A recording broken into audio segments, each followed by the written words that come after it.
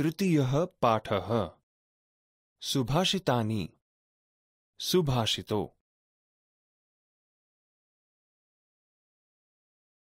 વિદ્યાર્થી મિત્રો સુભાષિતો એ સંસ્કૃત ભાષાની આગવી વિશેષતા છે સંસ્કૃત ભાષામાં દ્રષ્ટાંતના માધ્યમથી તો ક્યારેક સ્થિતિને દર્શાવીને વ્યક્તિઓને શાણપણનો માર્ગ બતાવવાનું ક્યારેક મૃદુ હાસ્ય જન્માવવાનું, ક્યારેક સમાજના દૂષણો તરફ નિર્દેશ કરવાનું, તેમજ ક્યારેક વ્યવહારના માર્ગોનો બોધ કરવાનું, એમ અનેક કાર્યો સુભાષિતોના માધ્યમથી સમજાવવામાં આવ્યા છે.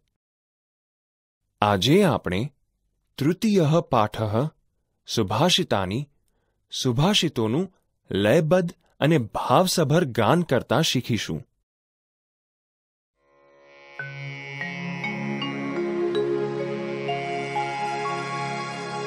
पृथिव्यां त्रीणि रत्नानि जल्मनं सुभाषितम्। मूढे पाषाणखण्डेषु रत्नसंज्ञा विधीयते अयं निज परो वेति गणना लघुचेतसाम् उदारचरितानां तु वसुधेव कुटुम्बकम्।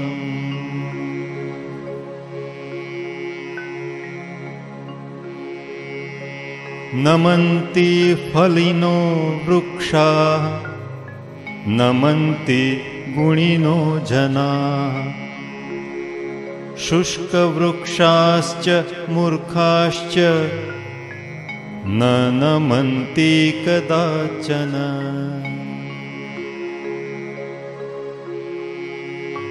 उद्यमः साहसं धैर्यं बुद्धिशक्तिपराक्रमः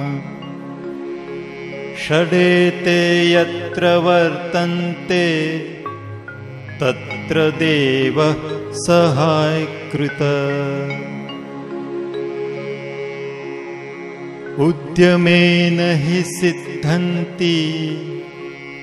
कार्याणि न मनोरथे।